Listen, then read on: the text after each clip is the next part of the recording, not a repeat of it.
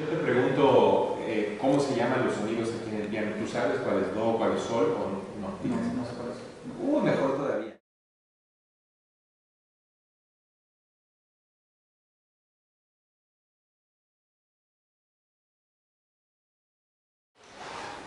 Ah, tú vas a empezar a tocar. Yo te voy a pedir que pongas atención aquí en lo que tú estés sintiendo ahorita, la sensación que se... Damos un margen de silencio, tú empiezas a tocar el recibo y lo, todo lo demás que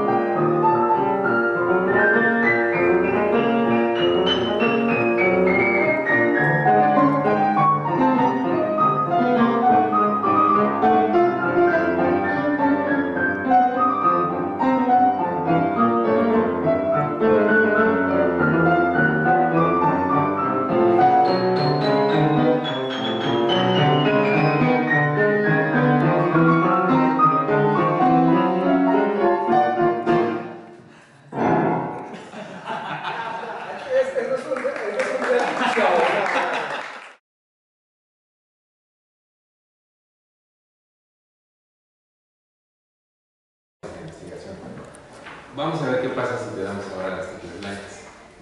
Y una, una consigna que yo te voy a dar, ¿no? Porque como invita al piano, pues tú vienes con las dos manos a jugar.